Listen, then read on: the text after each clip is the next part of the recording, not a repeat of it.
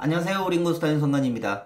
이번 시간에는 modal context에 대해서 알아보도록 하겠습니다. 목표는요. modal context라는 게 뭔지에 대해서 이해를 하고요. 여러 종류의 modal context를 구현해 보도록 하겠습니다. modal context라고 하는 의미를 먼저 알아보겠습니다. modal context. 어떤 모드에 있는 작업 영역이라고 생각하시면 됩니다.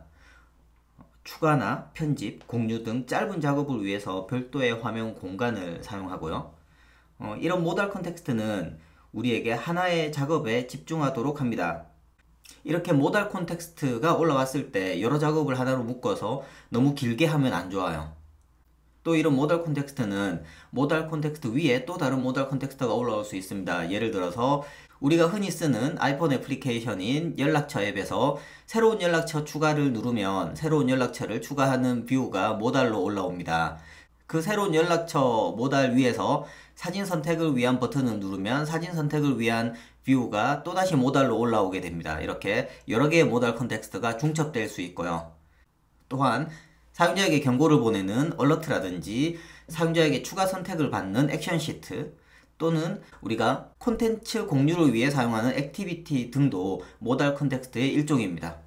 네, 앞서 작업했던 MeetingRooms 애플리케이션에 modal context를 추가해 보도록 하겠습니다. 먼저 가장 쉬운 alert와 action sheet 사용법을 알아보도록 하겠습니다. SN 라이브러리에 로케이션이라고 하는 아이콘을 하나 추가하겠습니다. 2x고요. 지점 정보를 보여주는 table view에 bar button item을 하나 추가하겠습니다. 오른쪽에 추가할 거고요. 저 bar button item의 이미지를 location으로 하겠습니다. 저 바버튼 아이템을 선택하면 사용자에게 물어볼 겁니다. 현재 위치를 기반으로 지점을 추천해 주길 원하는지 아니면 지도 앱을 연결해서 지점과 현재 위치를 보여줄지 그걸 사용자에게 선택하도록 할 거거든요. 그러면 저 바버튼 아이템을 선택했을 때 액션 메소드가 하나 동작해야겠죠. 그래서 저 바버튼 아이템으로부터 assistant editor에 있는 branch list view controller로 drag and drop 해서 액션을 연결할 겁니다. 액션의 이름은 location turn on이라고 하겠습니다. 자, 이 location turn on이라고 하는 액션 method에서 let location alert은 UI alert 컨트롤러를 선택합니다. UI alert 컨트롤러는 alert와 action sheet를 동시에 제공하는 새로운 alert 관리자입니다. 여기에 타이틀로는 위치 정보 요청이라고 하는 제목의 설명은 이렇게 위치 정보를 기반으로 가까운 지점을 자동으로 선택할 수 있습니다. 또는 지도 앱에서 지점의 위치 정보를 제공해 드립니다. 선택하신 기능이 계속 제공됩니다. 환경 설정에서 제공되는 기능을 변경할 수 있습니다. 라는 안내 문구를 제공합니다. 그리고 여기에서 우리는 일단 dot alert alert style을 원합니다. 이렇게 alert controller가 만들어졌으면 그 안에 들어갈 버튼들을 만들어야 되거든요. let 어, location action은 UI alert action. 이라는 이름으로 여기에서도 타이틀 저 타이틀은 alert 안에 나오는 버튼의 타이틀이죠. 위치 정보 켜기. 그리고 스타일은 디폴트 default로 하겠습니다. UI alert action style에 default가 있고 cancel이 있고 또는 저 아래쪽에 destructive가 있는데 쟤는 빨간색으로 나오는 거예요. 그래서 default style로 그걸 선택했을 때 실행될 함수입니다.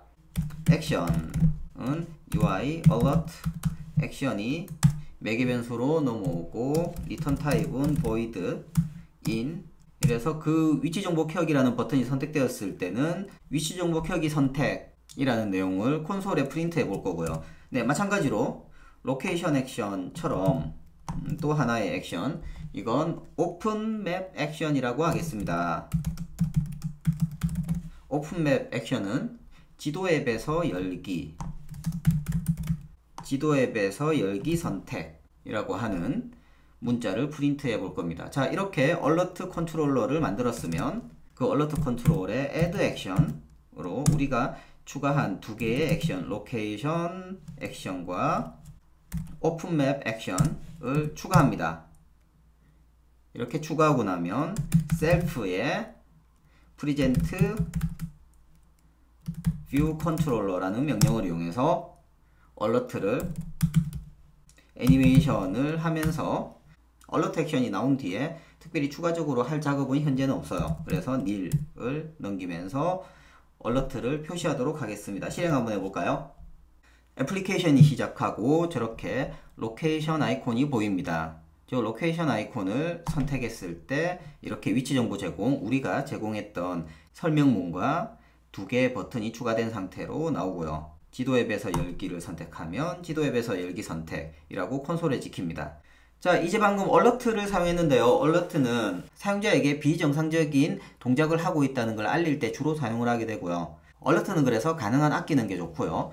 사용자에게 어떤 추가적인 선택을 받도록 할 때는 얼러트보다는 액션 시트가 적당합니다. 그래서 액션 시트 타입으로 한번 실행해 보도록 하겠습니다. 애플리케이션이 뜨고 저 버튼을 눌렀을 때 아래쪽에서 저렇게 위치 정보 켜기, 지도 앱에서 열기라고 하는 선택 버튼이 나오고 이건 우리가 엄지손가락으로 얼마든지 누를 수 있죠. 그래서 얼러트보다 좀 더 편하게 어, 선택을 할 수 있습니다. 그래서 정상적인 경우에 사용자에게 추가적인 어떤 선택을 원한다 라고 할 때는 얼러트보다는 액션 시트를 이용해서 제공하길 권해드리고요. 이렇게 얼러트와 액션 시트도 사용자가 현재 하고 있는 작업을 가로막으면서 지금 당장 이 작업에 집중하자 라고 하는 모달을 제공하고 있습니다.